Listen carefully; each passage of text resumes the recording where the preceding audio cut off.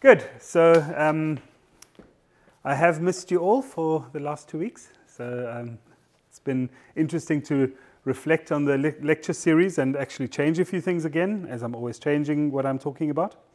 But uh, as planned, at least the title stayed the same World and Sense Making, which is the next part of the series. Um, and World and Sense Making, um, as always, I've got some notes to share with you as we get started. But before we share the notes, I want to make sense of the world that you've created over the last while. So if you remember, we layered our little collaborative story. We started off with some sounds. We then created the landscapes to those sounds. Then we created a mind map of territories and, and questions of the unknown.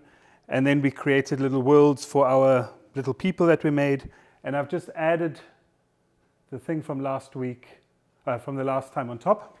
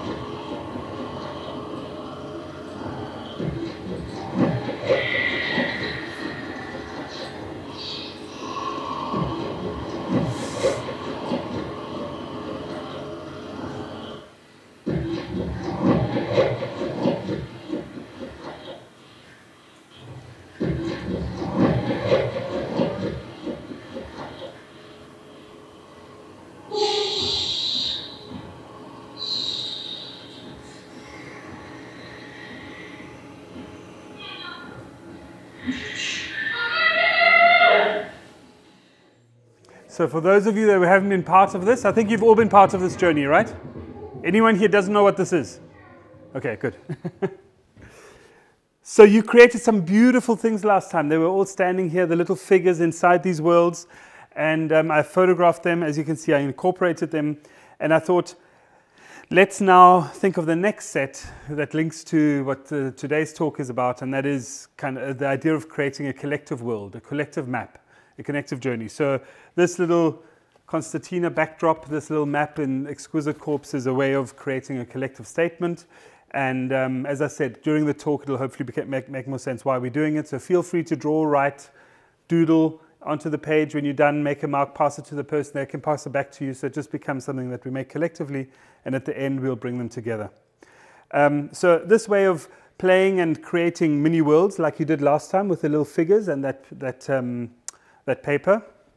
Sorry, I just realized you didn't remind me to record. Sorry. so, on this journey of um, world and sense making, um, I want to talk about what you did last time with the little figures and those little card creations, these little worlds, and what you're going to be doing now as, a, as an experiment. And that is this, the, the thing that as artists we try to, as I said before, make sense of the unknown, make sense of the world, in some way constantly. And the trick to do that for me, and this is a little tool, and I'll take you through some tools and activities that, that help make, uh, do this, is to create mini worlds. This idea of creating something where you become an avatar towards something else, when you change the perspective, when you use um, world making as a concept in order to tell new stories, in order to understand that which we don't understand, in order to meet new collaborators and to engage with the unfamiliar, and I'll take you through some of those examples. And then to actually create thinking tools. So these little playful things that we do with the little figures or with these pieces of paper that we, that we draw on, etc., are all tools for actually capturing and framing our thoughts, for capturing and framing new ideas, and through looking at the world through new lenses and new perspectives. And so this act of doing that as artists is an extremely valuable tool and is actually something that um, I think a lot of people in society suffer from is the inability to reposition themselves and have empathy for those in other places. And so um, I use a kind of very consciously this world making and sense making relationship as a way to facilitate how to inspire myself to make new work, how to get stuck when you're blocked with something and you're not sure about it. Someone here mentioned to me the other time that there is a moment where they're not sure how to take the next step. For me, to create these mini worlds is a, is a, is a game that helps break away from the big problem or the, the big picture and actually zoom in and play a little bit and in that playing open up new thinking partners and thinking ideas. And so these thinking partners are quite important, and I'll show you some examples of uh, collaborations and thinking partners that become really valuable um, as we create these worlds. And usually they come from different disciplines. So while you created these, I want to just make reference to a comparison to a kind of a workshop or a game that I was playing in South Africa. I think these are fantastic. Um, I, I, can read so much into what was created in, in these lectures. At some points I was looking, thinking, is that me on that orange page where it's empty and just me all alone? So I, am able to take myself and put myself into your little creations, even though I know this, these were your worlds. But it opens up the possibility to read into it. And so I want to show you an example of a similar kind of activity.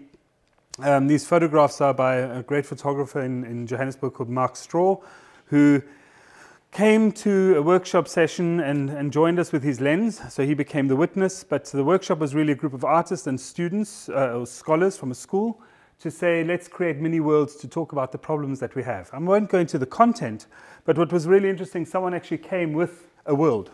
Yeah, and said, here is my world on a stick. And this is actually one of those flower, dried up flower um, arrangement balls. You know, for, for some kind of wedding or something. And he says, world making is already there. We have a world. And this idea that there's, we identify with a globe, with something round as the world is a really interesting thing for me. But when you look closely into that world that he presented us, there was this little character that was sitting on the globe. And suddenly his world that he holds up so proudly becomes something very different. You know, it, it becomes scale, it becomes a texture, it becomes something, becomes a home, it becomes a surface, it becomes something that that if you change its scale is really interesting. Now this seems very obvious, but when you start playing like that, every little stick, every little piece of grass, every little uh, part of a tree, for example, becomes something that stimulates new ideas. And so I just thought I'd show you um, to complement what you did last time so beautifully in, in, in, the space, playing with these little figures, how some other people have interpreted their little figures in another completely different part of the world uh, sitting in South Africa in nature, um, in a park, and actually playing with it and creating scenes, scenes that once again witnessed and filmed through a camera, through a lens, because if it's not on a lens, it doesn't exist. So, yeah, this idea of how do we frame, how do we capture, and how do we witness these things. So, the interesting part about all of this is that at times the figure itself becomes almost invisible. So, I love this photograph because the little figure that sits underneath this big rock sitting by the plate, if you don't know straight away that there's someone sitting there, it's almost invisible. All you see is the plate in relation to the object, uh, I mean, in relation to the rock, and creates a sense of scale. So maybe sometimes we don't need the people to represent that which creates a world in its own right, or something that is a stand in for a person, which is in this case the plate. And then the obvious is how do the toys start telling a completely different story? So just by bringing in this vehicle of destruction or construction, not sure in this case, and destroying the mushroom in, in order to make way for a parking lot. Um, it's a kind of quite nice game to play. And so using toys is a really, really nice way of world making and sense making. Um, so one of the tools that I've got in my re uh, repertoire is toys. So um, I was very fortunate that when I turned 20, my brother turned 10. That's 10 years difference and he would take me by, by the hand and say, Come, big brother, stop flirting with the girls, stop going out to parties, you're going to play Lego with me now. And he would sit down, and I had to play Lego with him for an hour, and that was my duty as a big brother. You know, that's what I have to do. And it became such a nice time for me to, with the age of 20, still be playing. Not by, oh, I'm going to conceptually now make art while I'm studying, and Lego has to be, a, but just to explore what this tool is. And so recently, this is still a work in progress. I have no idea where, where this is going to go yet, but I want to show you something. I walked into, uh, I'm in Benin uh, in West Africa, and I walk into a Chinese shop with all kinds of toys, and I think I need something to play with. It was so interesting. I need you know, a piece of plastic. And so I picked up this little tractor because I remembered somehow in the back of my mind probably this image. And So, so I then um, coming to stay at the coast in Benin on, on the coast of, of, West Africa, and I noticed that there's a massive construction site. And because a lot of my work has to deal with um, migration and politics around migration, I'm fascinated that they want to build a massive museum here for the slave routes that came from West Africa to, to the rest of the world. And, and as that's happening, oh, sorry. Um, as that's happening, I, I find out that this whole construction site is actually funded by China and that there's not a single Beninese uh, person involved in the making of this construction. And for me, that is very problematic. This is a very complex thing that these companies coming from the outside start to take over the space. And we, I've mentioned this in the talk before this question of a new colonial power that comes in uh, financially uh, conquering a, a, terrain and, and exercising their power through, through, through what they can offer. And so, what I, what I did is I realized that in this journey, I should bring in my little, my little um, toy. And so I thought, well, what if this place where I was staying, which was a little house close by, was to be destroyed? Because all of these, this land used to be owned by fishermen. And the fishermen were using this land to go out easily into the coast. And now it was all being turned into this uh, almost wasteland of construction site, and the fishermen were relocated for, without any compensation. And so there's this kind of complexity around this construction site. So I'm waking up in the morning after doing the shadow game on the wall at night, and I'm wondering what's going to happen? How can I in, in, impose myself into this world making that's happening in there? Someone's creating a new world, and I could not believe it.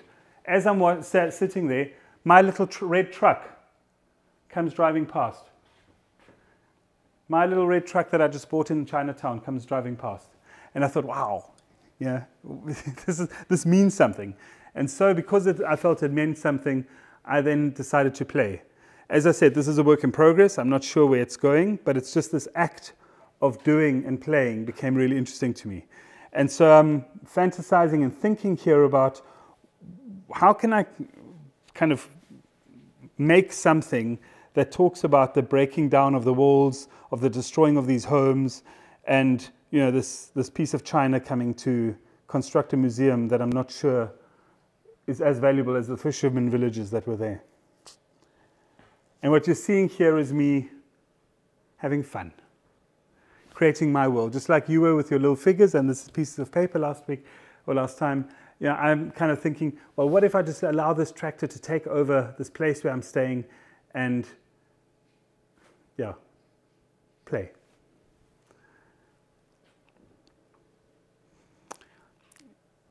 And like every tractor and sand together, it needs to be a sand pit, and suddenly the, the sand gets moved around. And I'm just going to scrub through this a little bit. Eventually, it becomes a big drawing, and then I feel, ah, oh, now I'm being an artist again, and I'm not just playing.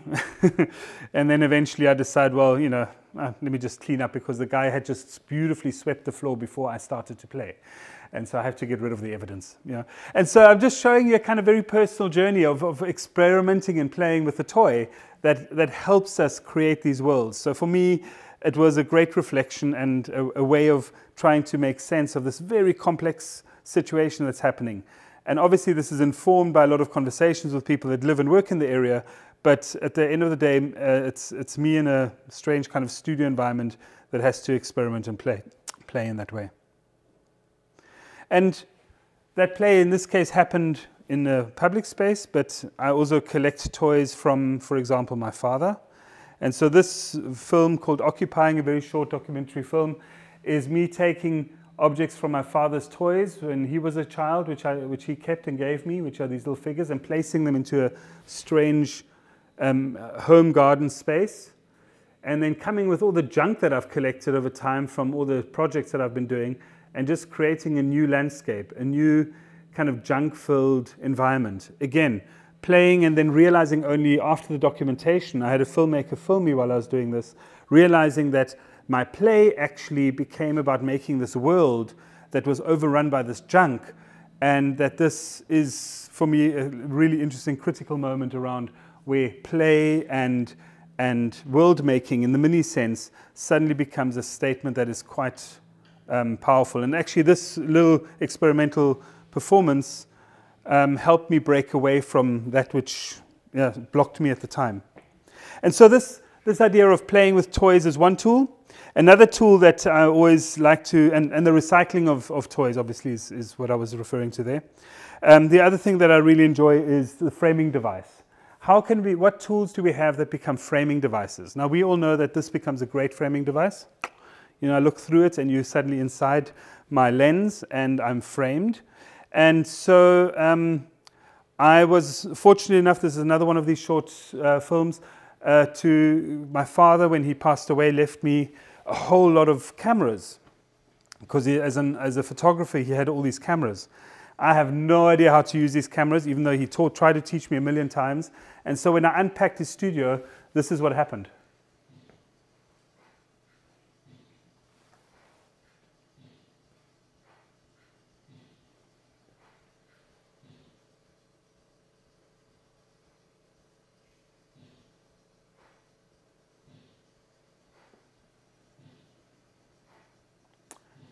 And so the camera as a framing device is really interesting, not because it creates only a frame when we take a picture, but actually as an object, I think it becomes a really good tool. Again, like the toys, there's no difference for me between the, the, the tractor that you saw and the camera because they both become things to play with.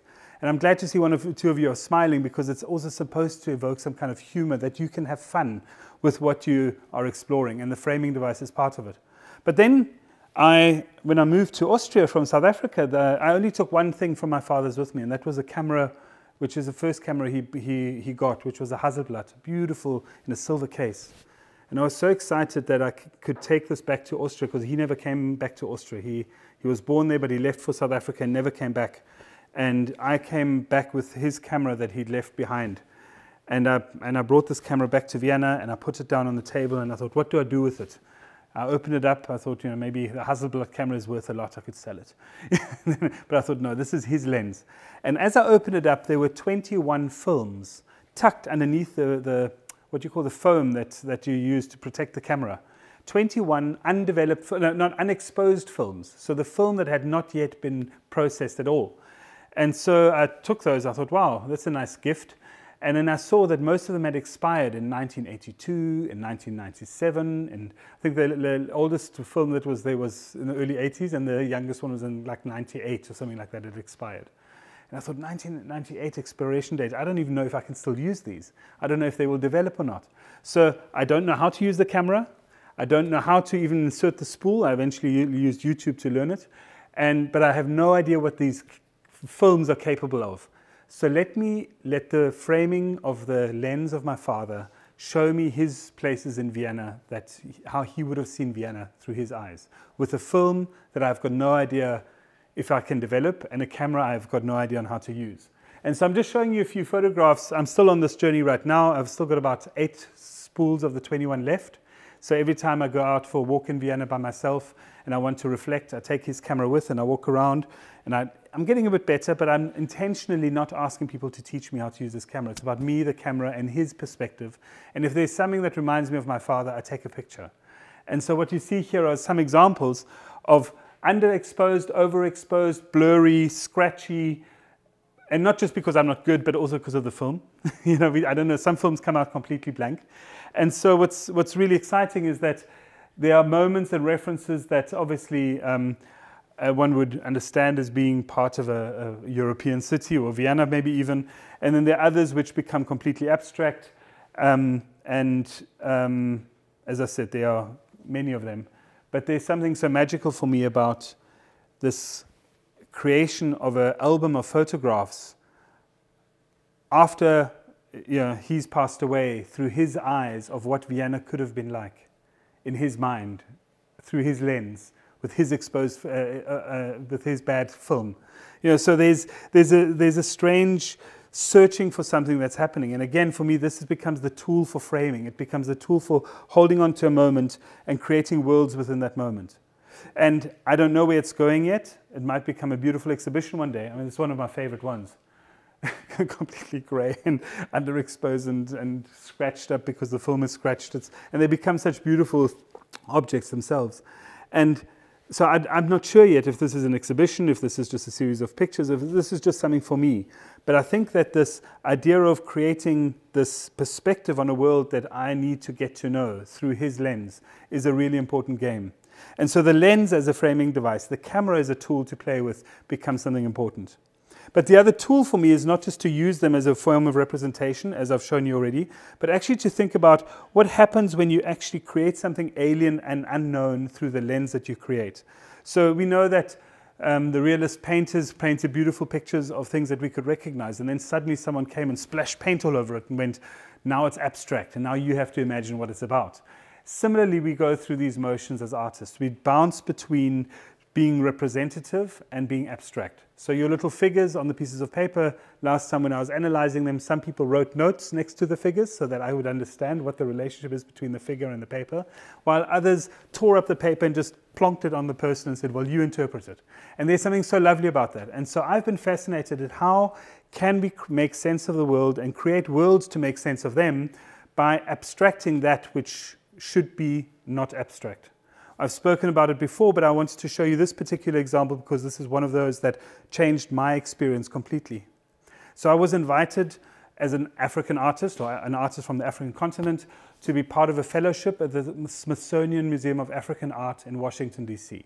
Beautiful big thing. It's a really important moment for me. I'm so excited. I'm going to spend several months in Washington, D.C. in the African art department looking at all these artifacts from Africa. And then I realized, why do I have to fly all the way to the USA to see that which should be in my museums? You know, why am I having to relocate? And then I get to the museum and I walk around and I'm fascinated by all of these objects and I love art history and I love the stories behind these objects, etc. And so I'm, I'm talking to the curators and I'm saying, but where's all the other stuff? You know, where are the real treasures that you have that are not on display? And they take me into the storeroom and then I get really excited. But inside the storerooms, I turn around and I say, well, um, this is very nice, but where, when are we ever going to see these objects? Who's ever going to see them? And I realized these objects were all kind of standing there like lost souls, you know, waiting for something to happen. I felt really sorry for these objects in the museum storerooms. And so I asked the curators and the custodians of the collection to turn off all the lights because there's no better way, as I said before, to play in the dark because then people start to let go.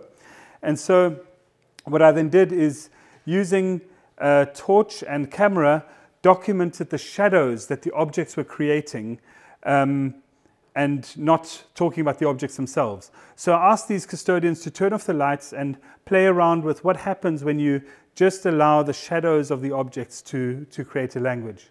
And the most amazing thing that came out of that was that they started to look at the shadows like landscapes. They started to talk about the shadows of the objects that to have more value or no, not more value, to have a different value to the objects themselves. The shadows told a story that was abstract. The shadows told a story that you could not identify on the label.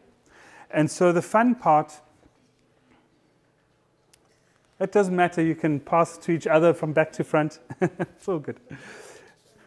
I can give you another one if you want.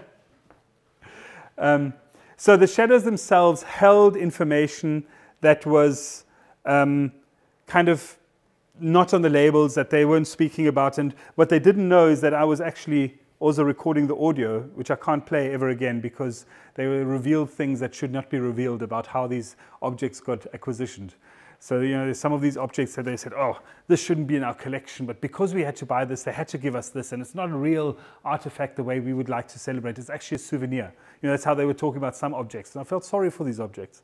And then in other cases, they said, well, this object is actually was stolen from someone, and it should be given back. You know, so there was a very honest moment in the storeroom. But these shadows, these very abstract worlds, started to become exactly that worlds of the unknown, worlds of that which we cannot define by looking at the object. And for me, looking back at this in this sense of constructing the lecture on world making and sense making, it was to say, well, what do you do with this abstract experience in the dark, where you're looking at shadows and you feel that there's something in it? And for me, the obvious thing was to project it up large. So this painting is probably the size of this wall. Um, so project it up and then paint the shadows that were captured in the dark. And so by painting these shadows, what starts to happen is they become material. They start becoming other worlds, just like the, the landscapes that you were drawing in the second lecture I gave of the sounds. They become these, these spaces that, that, that are some kind of territory. And I realized that as you explore these territories, you just start adding more and more. You start thinking about, well, what if I go into this landscape? What if I add another layer? So then you add another layer. What if I add another layer? So you add another layer. And eventually it becomes completely abstract. And the, and the thing which was so defined becomes abstracted. And for me, there's something so nice because that means that I'm now sucked into a complete landscape, which is actually a series of shadows of objects that have nothing to do with landscape, but they embody some kind of meaning.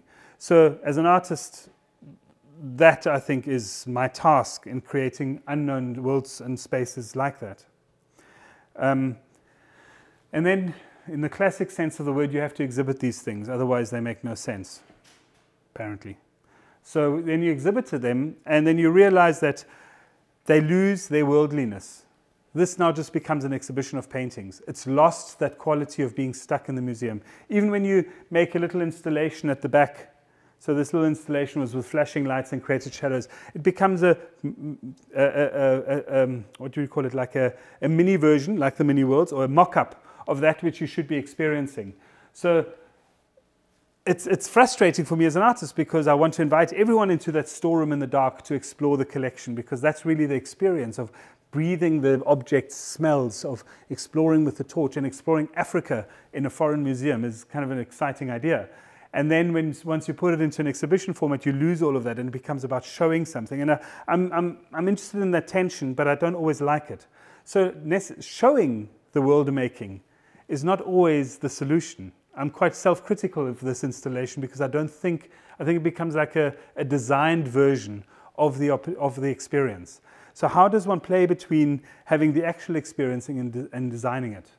And so I, I, thought a lot about what, what, what, what that meant in terms of not showing the real object, but just the shadow, having the experience.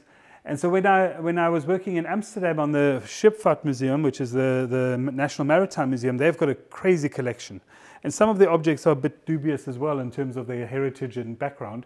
But what I did is instead of taking the object, I took cutouts. So literal, just kind of wooden cutouts of the objects and created a set so that the audience can see the objects not being the real objects, but just mimics of the objects.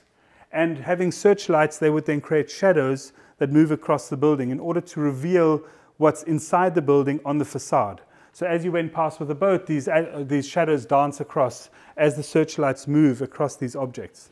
So replacing that, which is the authentic, the real, the object in the museum, with something two-dimensional to create a world A little bit like props on a stage when you create little kind of shablons in order to puppeteer, puppets or something in order to replace something that's there.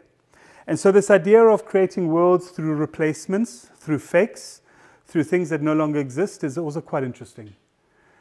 Here the, the painting becomes a replacement for objects that were lost in Syria during the war there and all the buildings that were completely destroyed and the artifacts and the souvenirs that were brought, no, the souvenirs that were brought back from Syria um, started to replace the artifacts. So it's no longer the original, is no longer part of it. So now we're creating world of fakes because the original had been destroyed. So the souvenir suddenly becomes valuable. So now you put a souvenir in the museum and you say, this is a replacement for the original. Or you put a painting up to say, this was once an object that is no longer there, but is just a destroyed painting. So this question for me of um, what creates a world, is it always in the imaginary or can it be a fake item to create that world is, is fascinating. And Egypt in that sense is a really interesting space to look at.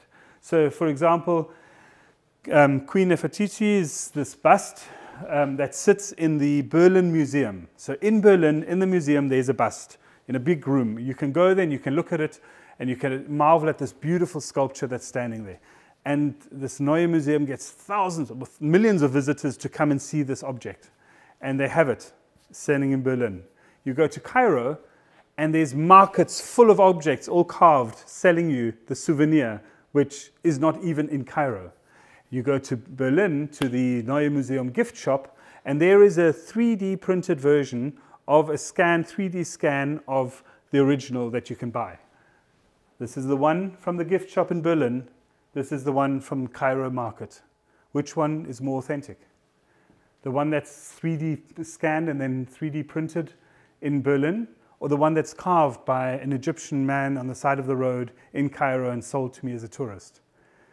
They're both replacements for the original because the original is you're not even allowed to photograph. When you come with your camera like this and you walk past like I did, the security goes, "Right, kind of photos." And I'm like, "Okay, fine."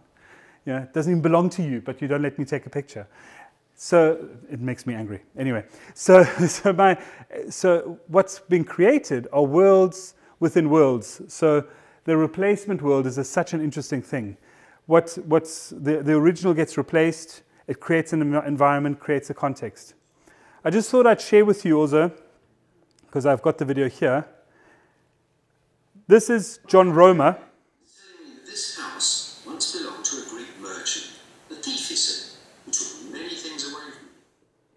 John Romer made a series of, of documentaries about the what what what he I'm going to explain it to you. Uh, the the the rape of Egypt, the fact that all these objects have, were taken away, the plundering and the and the extraction of all these objects and where they sit, and very critical um, uh, um, stance. An incredible Egyptologist that that was very much frowned upon by the museums because of his strong stand against this this pillaging of Egypt. And then the counterpoint is, well, if they didn't pillage and the objects weren't sitting in some European museum, then maybe nothing would be left. And so, so there's this debate, but what I've, why I'm showing you this is um, I became fascinated by these numbers that are written, handwritten on all of the objects in the Cairo Museum in Egypt. It's obviously the Egyptologists um, and the archaeologists writing codes onto the objects so they've got some kind of Western numeral, almost like a tattoo or a stamp or a prison stamp. And these objects stand in the museum with their prison stamp telling people what the number they are. And so when you go into a museum like that, you start realizing that that is, again, is not even a world that's created by those that made these sculptures for a reason, but it's created by the museum to tell you about how great they are that they collected these objects. And for me, that is such an interesting twist. You know, we're creating worlds to show off how good we are at collecting other people's things. And I find that this, this, this game is one that, that, that we do as artists anyway, but sometimes it's nice for the audience to do it too. So sticking with the, with the Egyptian theme, in the Roemer and Pelizaeus Museum in Hildesheim in Germany, I took a group of um, visitors, participants, students, and artists, and it was a whole group of people. And we walked through the museum and we filmed the collection. So we had the museum turn off the light and we filmed the exhibit. So not the storerooms, but the exhibit playing with light and creating shadows. And then we projected that onto the outside of the building. And the film that we projected was actually quite a, became quite a poetic journey um, through, through the exhibition, where the shadows completely transformed the building once it was projected. Unfortunately, I don't have a film of the projection on the building, which is really stupid. But um, this was the film that was then projected on the outside. Very subtle, soft shadows kind of moving around. Um, some, some playful moments. The sound piece we then also made in a workshop together. And what was really beautiful for me, it became a replacement. So, so if the museum disappeared tomorrow, because all the objects had to be given back to where they came from, maybe the shadow landscape that we've created could be a nice replacement. So you could just have an empty museum with a projection on the outside of the objects that were once in the museum. I love that idea. You know, create a world where the object becomes completely invisible. It disappears. It's no longer important. All that's important is the abstraction of the shadows that it created and the stories that, that were told. And there are moments in this where you can actually recognize what it is. There are moments where it just looks like pure landscape, like this. And then there are moments where you might be able to recognize an object or so. Um, you know, like yeah, this, this video, is, the projector is not very good here, but um, let's see if I can find some. There's some of these objects one might recognize if one knows what they are. There's something that looks like a, a dog figure or cat figure. Um, and so they, those are definitely Egyptian figures, some sort. Yeah, and so so you start making um, mental connections to some of these objects that could have been in the museum, um, and in my mind might might not be there forever. Um, obviously, sound is a very strong component to this, but we're not going to worry about that now. But it was about collectively also figuring out what sound these objects would make, and we we we went online and we did a interesting mix of sound collections to see what would happen, uh, what this landscape could be like.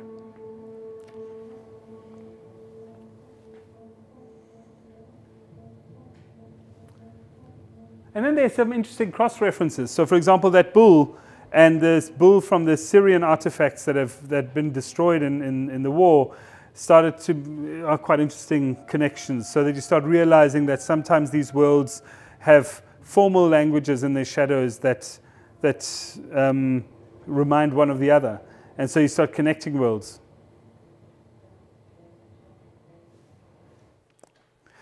But um, trying to make sense of one's own world is even more complex. So um, I'm, born, uh, I'm born to Austrian parents living in South Africa, born in South Africa and, and growing, up, growing up there. Um, I have a relationship to place, to context, but I'm migrant just like everyone else on that land. I'm, I'm brought in somehow, I consider it home, but my connection to artifacts from the continent are very complex because obviously there's a colonial history, there's an identity history, there's a question of positioning oneself in relation to these objects.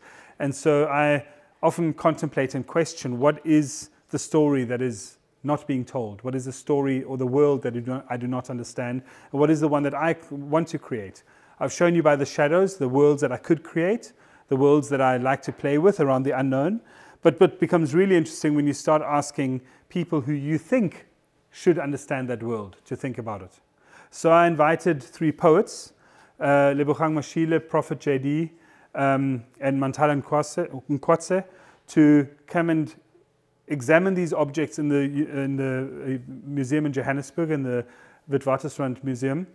Um, and this contemporary art, uh, this collection of art in this art museum um, is in storage. And for this exhibition, we had brought out objects of divination and these objects were presented to the poets, and I filmed them talking about these objects and then created an installation with them, with um, you know, projected on top of the objects, their, their shadows of talk, talking about it, so that it becomes this layering. Again, creating another world. But what was really interesting for me is as you walk through the installation, you've got these sound showers where the poets are responding with voice, voices. And so what I've done here is I've compiled the voices and layered them as you would hear it in the installation. I'll just play you a small clip of this.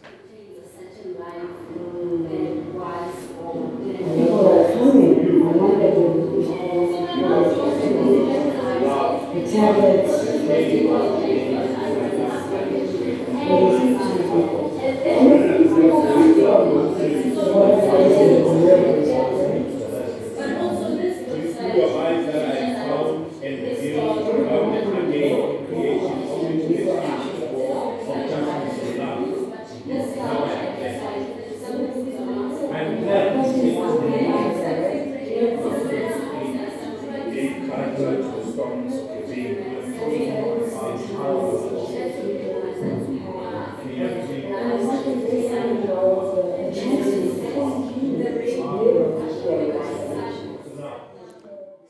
Each one of them had a dialogue with the objects, trying to understand what they are. And I realized my assumption, just because there's some kind of um, cultural relationship between where the objects come from, the ancestors of this tribe of people, and the people that, that, that, that were holding the object, it didn't mean that they could necessarily understand what it was about either. And I loved that idea that in that translation, and my assumption came a complete chaos of what you're hearing, just this layering of voices that actually make you realize that they too have to create worlds to make sense of that which is supposedly significant culturally to them. It's probably the same as if you come across a, a, an object from your grandfather's generation and say, well, now, do I really understand it if I hadn't been told by my grandfather about this thing? Or, you know, what is, what is the symbolic relationship? How deep does the the oral history go? Is it documented? Have I read up on it? And so these, these opportunities for creating this, this, this, I guess, lost in translation moment where you try to explain something, but you cannot because it's been, that meaning has been lost to you is quite nice. And this search for that which one doesn't know is inside becomes really important. And as you know from the other lectures, my passion of drawing is really part of that. And so often like this is in, a, uh, in the museum storerooms, I go and I imagine what could be inside this, these boxes because we always see boxes standing around in museum uh, storerooms, but we don't know what's inside. So I imagine the shadows from the artifacts and the objects. And so in some poor museum storeroom, the there, there are a whole range of containers that I've just guerrilla action painted what could be inside them, creating the imaginary of what we cannot see but what is inside. And I think that which we cannot see but what is inside becomes an important thing to think about when you're trying to tell the untold stories. When you're trying to document and play with capturing what happens every day. Um, we, we write, we draw, we sketch. I mean, you're all sketching at the moment on some piece of paper with little notes. Um, and I feel it's really important that one doesn't necessarily interpret those drawings always, but it allows them to be what they are. So this journal of mine of a month-long journey in West Africa is something that only I and maybe one or two people that were with me would be able to interpret and understand. That's the red tractor, by the way. Interesting. I could now, now you see, now we made a link. There's the red tractor in the landscape, destroying the landscape, um, which was a sketch that I made while I was thinking about the space. And so, thinking and drawing, creating worlds in by, by creating a narrative for yourself becomes a really interesting tool to come back to. And I can see so many little worlds and installations I want to make from this. I want to recreate this scene one day in, in, a, in a work. I want to play with some of the sketches that I made to make them into big paintings or into drawings or installations. And it's that act of, of capturing that's really important. And so one collects and collects books. Um, these are some of the journals. That's why, again, this is such an important format for me because they usually become concertina journals that, that capture something that, that are about finding the earth, finding the land, drawing with the land, capturing it and uh, tearing the paper, building with it. Um, tricks that we all play with. I think we, we all had the opportunity at some point or another to, to take a piece of ground and just rub it into the piece of paper and see what happens. But by doing that, that piece of paper has become the set for something else. And for me, it's so interesting because we put ourselves into that every time we look at it. So it's no different from creating, the, the creating of a set in this case is no different from actually building a set. So, for example, when, I'm, uh, when I was inspired in a, in a, in a part of Ireland with, with a collaborator of mine, and now we were talking about the land, etc., and you start yeah, just quickly opening a book and start drawing and creating something, and then seeing what happens when you place it into that landscape and how it captures an emotion, a feeling, um, a reference for you you know, these, these, these sketchbooks are sketchbooks. They're ideas, they're gestures. By no means are they final artworks or anything like that, but they are little worlds that are created that are representations for the big world. So they become like windows. Every time I open that book, it's stepping into that landscape, even though the landscape can never be there, or I can't be, be there. And I think that's a really important thing.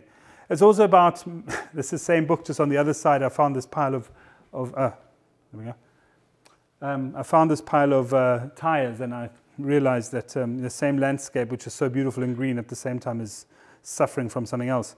And, um, and so I turned the book around and started to draw on it. But that relationship, again, with the object as a representation of that which one feels, um, is something that helps me emotionally connect back to my work.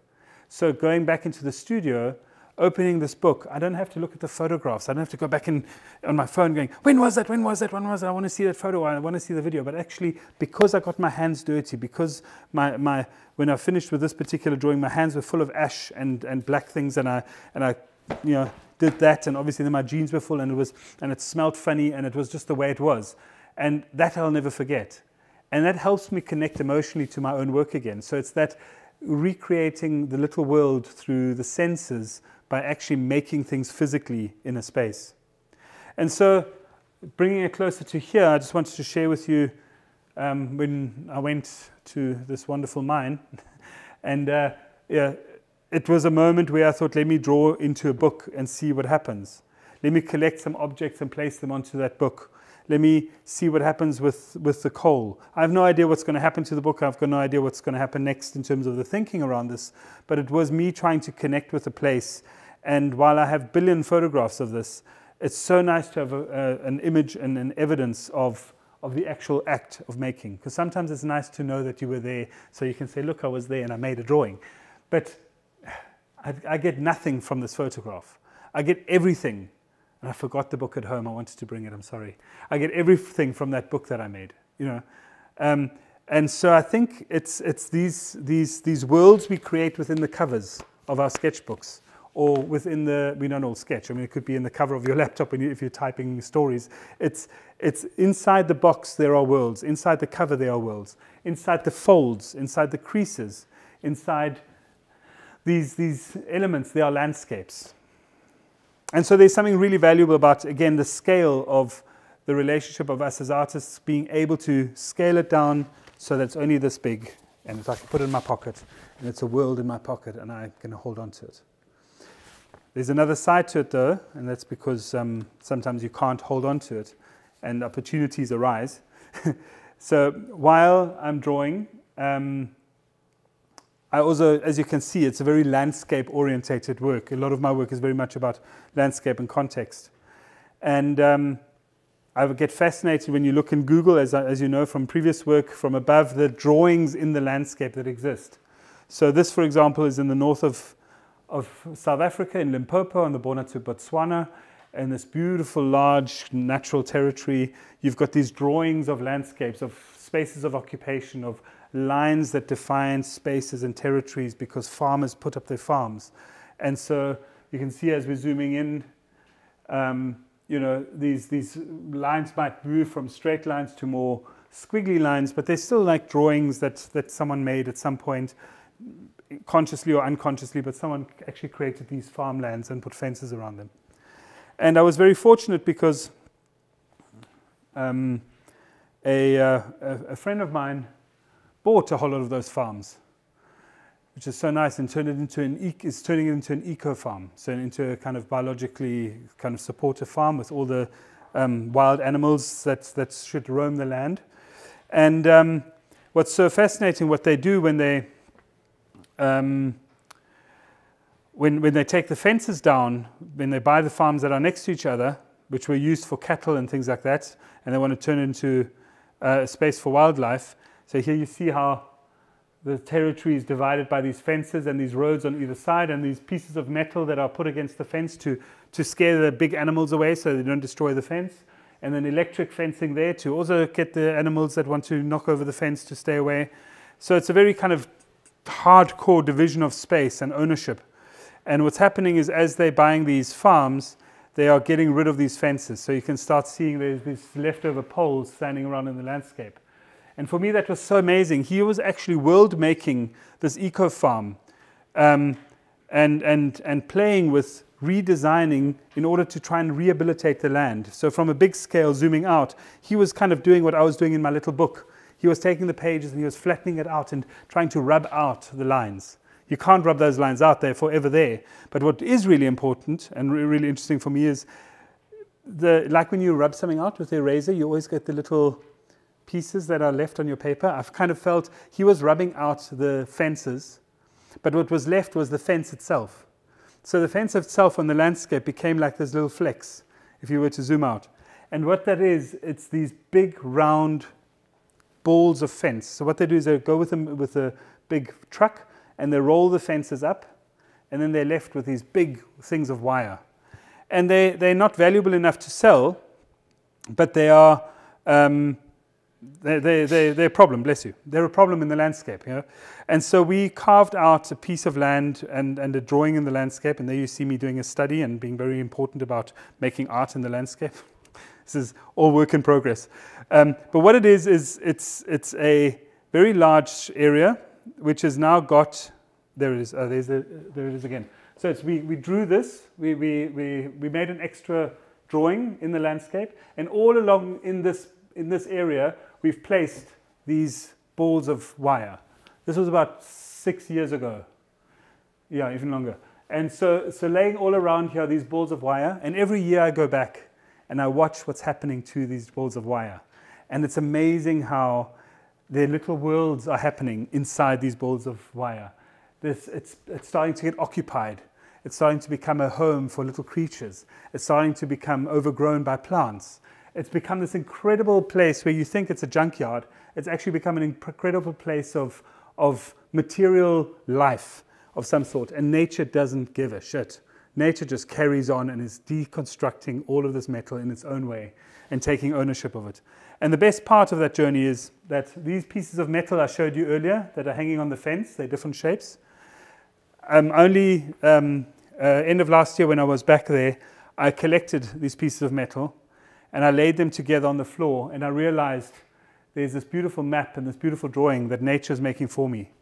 So these are just the textures and the, and the, and the weathering of, this, of these metal sheets that have now been lying there for seven years or something like that in that, in that, in that landscape that, um, that are now becoming little canvases in themselves and are becoming these drawings, are becoming these memories. So the only thing I've taken from this whole project, which exists in somewhere in a tiny little place in Limpopo, hidden away in the bush in, in South Africa, are these um, nine pieces of metal that sit in my studio in Vienna. And I just don't know what to do with them. But they hold for me that whole world of these weird things and these, and these, and these separation landscapes and this changing of the land and everything.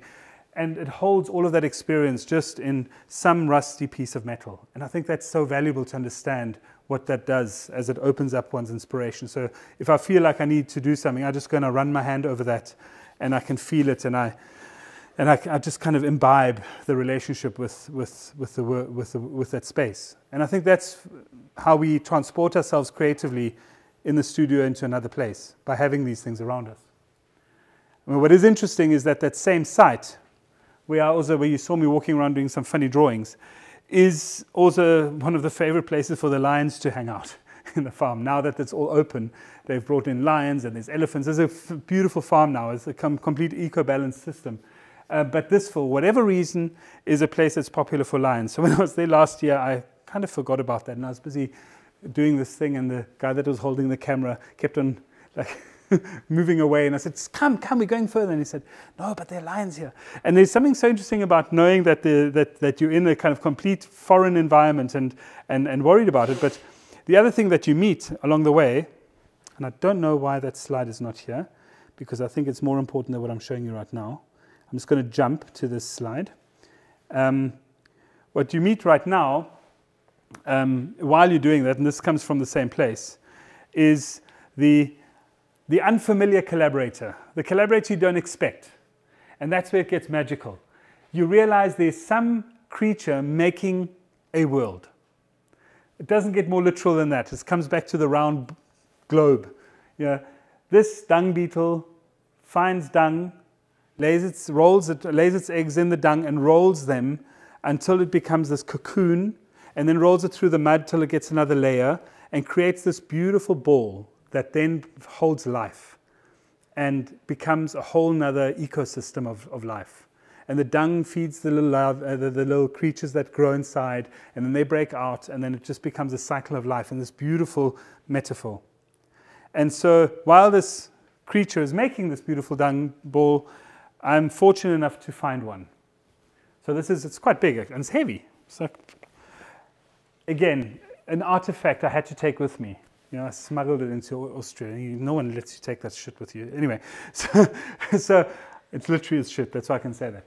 Um, so so um, finding this thing and, and just smelling it and being inside it and kind of just putting my nose into it like this and just smelling what, what the, the, the place smells like, what it feels like. It's an incredible nostalgia to something that we, that we want. It's a thing that teleports us into that space. It's like eating that food that someone made when you were somewhere and then suddenly you, like your, all your senses go crazy and you go, oh, you know, I could be there, wherever it was. And it's that magic that I think kind of this world making concept really holds for me. It's, it's creating conditions that reposition you and, and immerse you into another place. And for me, the collaborator that helped me do that is this little dung beetle. And I think that's interesting because these are unfamiliar collaborators we don't expect. These are encounters that we, that we think you know, could, never, could never really be part of our, of, our, of, of our journey.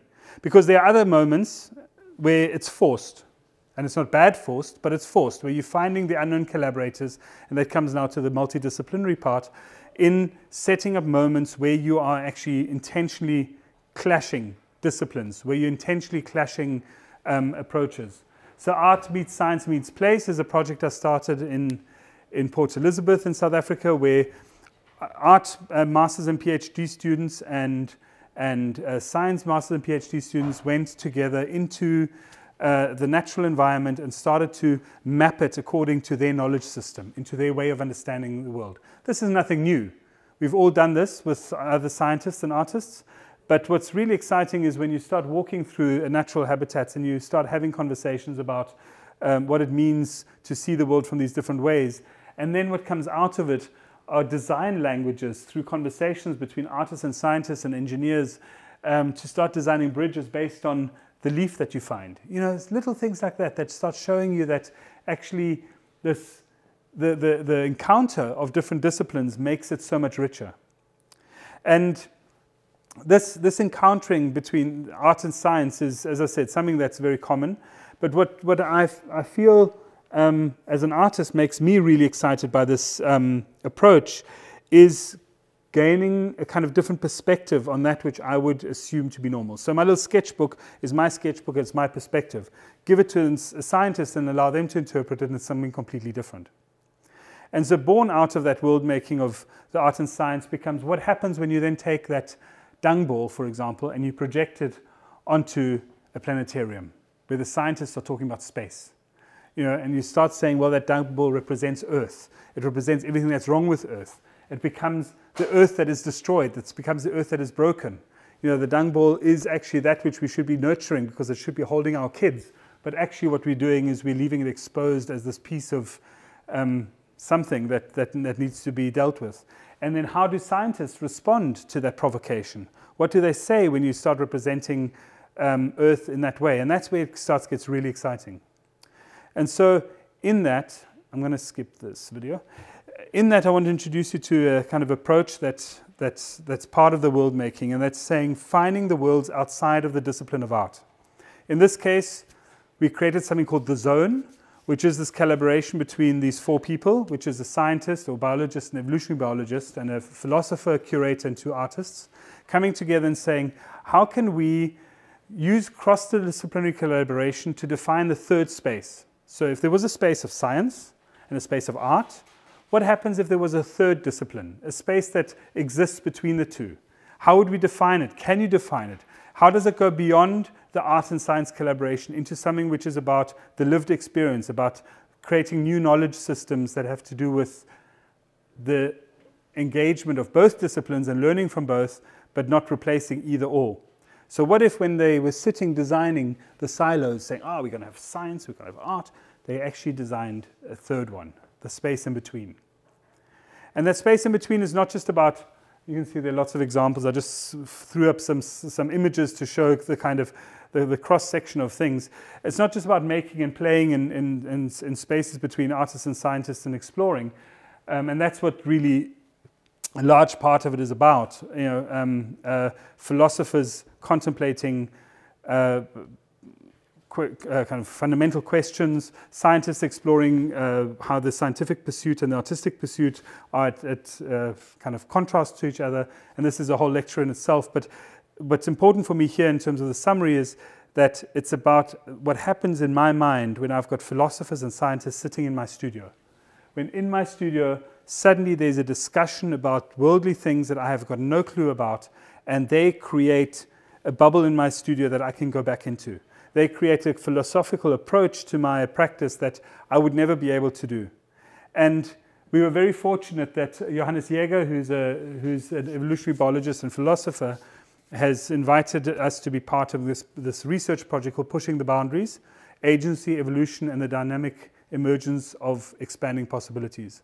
It's basically, in a summary, it looks specifically at what I'm talking about here, the theater of, or the question of the theater and the world making of how do we engage with the world? Is the world a machine or an organism? Up until now, the world has been treated like that, as if it's machine on the inside. We're trying to solve our problems by finding the next piece of tech, the next AI, the next piece of algorithm, the next piece of object, the next cog, you know, the next tool to fix it. But actually, the biologists, the evolutionary biologists specifically, are saying actually there's an evolution that's happened to create the world. Why do we think we can replace evolution with tech? And what does it mean that we treat our world as a machine instead of as an organism? And so this research is philosophically really fascinating because it pulls into question all of these things that we've assumed until now in how we solve our problems, how we refer to ourselves, how we fix our bodies. We treat ourselves and our world in the form of machine. But what if we actually reconsidered that and what if we contemplated that the organic nature of who we are as humans, who our world is, um, can be treated differently and, and, adju and adjusted? And I find that a really interesting provocation because it basically means we go back to that dung ball. We go back to the thing that, that, that nature has shown us works in a certain way and has a certain rhythm. And while we're in the midst of this research, the philosophers are really contemplating and, and, and, and playing with the, the fact the sciences has to protect itself. The sciences can no longer make worlds that are fascinating and unknown. They have to use the language that exists in order to defend their position because they have the power. The art world is doing exactly the same thing. It has to defend its position in order to maintain its power. But when we start talking about disrupting that power by looking at alternative possibilities and alternative systems for dealing with world making, sense making. Um, you need to break down those silos and you actually have to question the establishment and how the establishment works. And this is where philosophically it's really exciting. So it's not to say that everything that exists is bad, but it's to say what happens if you break that mold a little bit and create mini worlds that show the abstract, the unknown. And so that new perspective has only come through the dialogue with philosophers and scientists because if I was stuck in my studio by myself, I would just be making art and drawing more pictures and making more books. And everyone would say, those are nice books. They smell funny because they're made of some poor animal's um, dung. But, you know, um, that's great. But now suddenly a philosopher is saying, but wait a minute, the fact that you painted in an animal's dung and made this book while you were in the midst of this weird territory does that not evoke a different way of sense making about the world that you live in? And now the philosopher is reflecting on that and thinking about it within the context of the research. I obviously didn't paint with dung, it was just a reference, but you know what I mean. Um, so, what I thought to, to end off the session, I'm going to show you one film. It's not very long, I've cut it up into segments. But why I want to show it to you is it was just uh, it was a theatre piece that was performed a month ago in Johannesburg um, it's a collaboration between um, a whole uh, group of uh, people, Mark Fleishman uh, and, and Neo Muyanga and um, Jenny, who you see in the middle there, Reznek.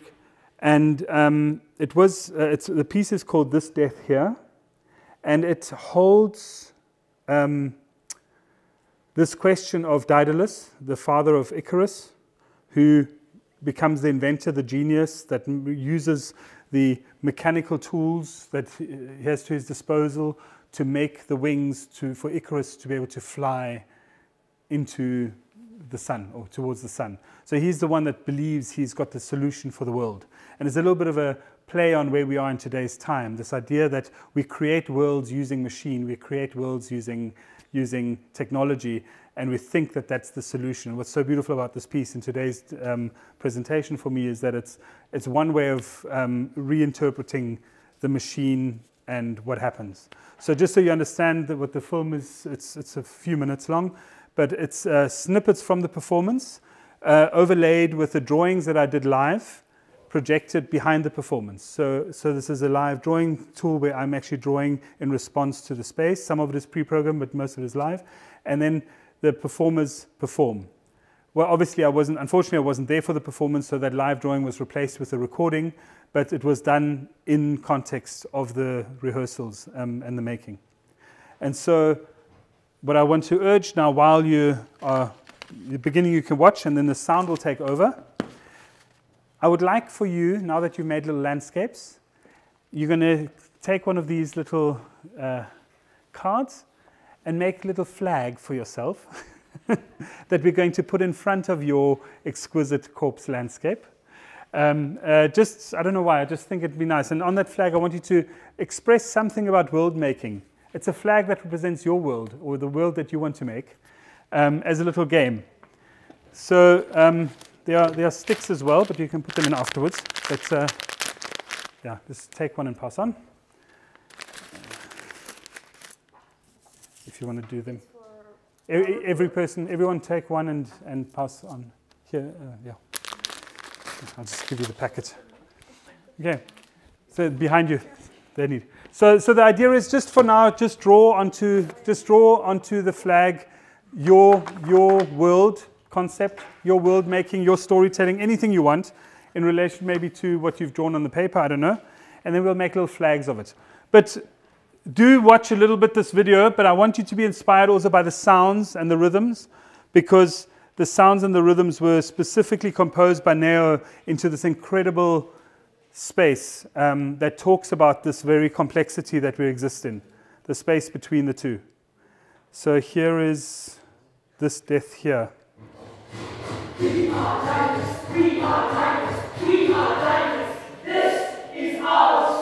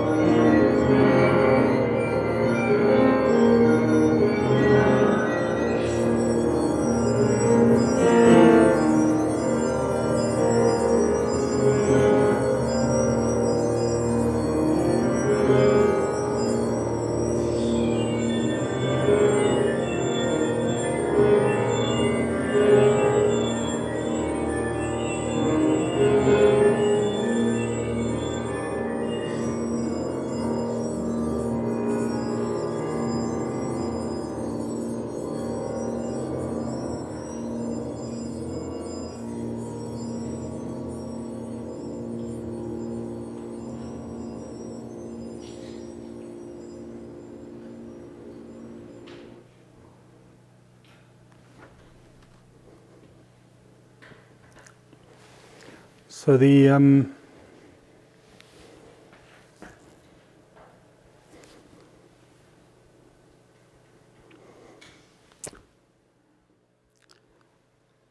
the journey of this last world that you saw right at the end was uh, this idea that once we come to a point in our world where we realize that even Icarus flying too close to the sun, falling down and dying is not necessarily going to heal that which we have created, given the condition that we leave our world in if we carry on treating it this way.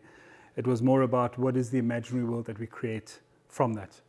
And so once it all fuses together, and you see that table with where Icarus had fallen, and the, the gods come and lament and sit around, stand around the table and kind of contemplate what happens next. You know, a world creates itself. And I think in terms of future visions, that is really where we are the strongest. Creatively, we are the visioneers of the new world. And I don't think we should be naive enough to think we could do that alone. And so I think that dialogue with those that are thinking in that way, that are researching in that way, that are making in that way, like the biologists, the philosophers, um, the parents, I guess, even, you know, whoever is in that space of trying to think about your future and about uh, the, the way it could go forward is your collaborator in that sense. And so, whether it's a dung beetle or um, the philosopher in your studio, think it just becomes an interesting space to be in this world, uh, this world making. And obviously, the other really important person in world making is the person sitting next to you, because we just made worlds. So let's bring the things that you've made forward, and let's put them together on the table here, like we always do.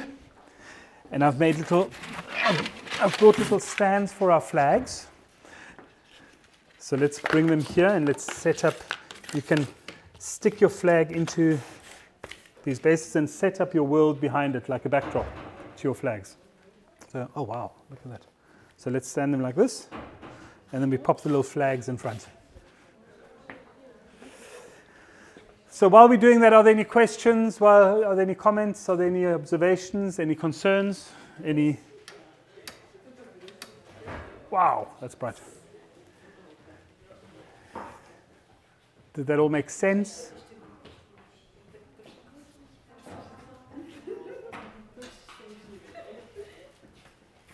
Go for it. Use power. Use force. You can do it. yeah. So let's let's add the let's let's kind of create an a continuous one. See what happens. Fantastic.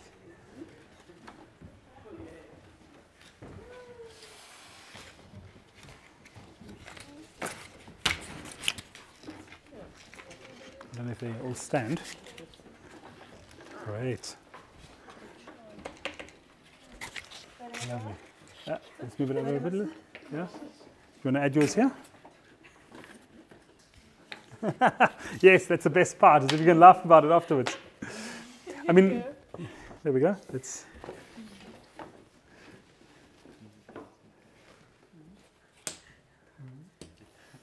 So what, what starts to get really nice, I'm going to glue these together so that we've got a kind of an ongoing book at the end of your journey. so so I know this was a little bit of a kind of weird thing to be doing while I'm talking and you're listening and you're playing and whatever. But but it's this automatic drawing, it's this uncertainty about why, why am I doing this, what am I doing around world making, what, what is this about, that hopefully gives you insight into, into your own thing. I think this is fantastic. It's like a, so what we should do now is we should cut them up and then jumble them up and put them back together. um,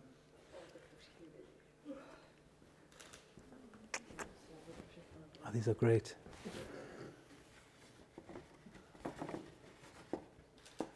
Yeah. I mean, how many of you are world makers, do you think? Show of hands in your studios. Yeah, I think so. Thank you. I wanted that answer. I wanted everyone to say, me, obviously. I mean, it's, it's so interesting because when I have this conversation with curators, so we had a, a workshop with curators in in Paris now in, in, a, in a museum where we spoke about world making in the display um, of the collection. You know, what, what does it mean? And um, that's why I was changing a few things when, when, when after that, after that uh, meeting last week. And it was just about how we think it's always someone else's job to create our worlds for us. And it's so interesting. Even the curator said, yes, well, you know, we do it for the audience. You know, in this case, it's a very classical museum. You know, we do it for the audience from small to old. And so they are the ones that give us the perspective on the world that we create for them, as opposed to, well, let's go completely crazy and then let's pull them in in certain ways. You know, it was an interesting debate. And so it's not always about just, uh, you have to um, assume that someone else makes it for you, but you have to be making it yourself. That, that think in this world we need to travel to another world. Exactly. That's a nice way of putting it. Yes. Yeah. You actually have to take that step into the other world. Yeah. yeah. It looks so fantastic. Have you got a picture of everyone just standing here like this looking? That's so nice.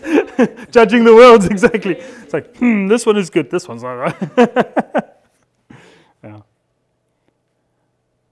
And it becomes really exciting when you, like this last piece I showed, when you're on the stage with actors. I mean, it was all a piece that was developed together. The, the vocalists, the composer playing live with his electronic things and his piano, and the drawing, it all happened in this kind of strange stepping into each other's worlds and then something coming out of it. The fact that I don't understand the language, you didn't understand the language, and yet it's inspiring to be working because you understand the essence of what it's about. These are all all really nice things. Yeah, yeah. Good. Are you all happy? Are you all feeling fine? Are you ready to go home into the cold? I hope, the, I hope this, this gave you something. I hope you felt uh, it was worth the time that you spent. So thank you. And um, looking forward to next week's session. And I'm, I'm just got to think about what I'm going to do with this now. this is my homework. I don't think I can add anything more to that video. It's full. I think so. I might just add something afterwards. Yeah. yeah. And then in the last session, I've kept everything we've made in the other session. So in the last session, we'll put everything on the table together. so. It'll be like an exhibition. Exactly. It'll be another world. Yeah. Brilliant. So if there's any other no other questions, are you okay if I keep this and I scan them in? Anyone want to keep their their little things? I mean, do you, does anyone want to say anything about their flags or about their things? I think they're so nice. I mean, some of them wrote, so I was just. Uh, I love this. Brilliant. Whoever wrote this is great. Thank you. I was watching the video you played and forgot.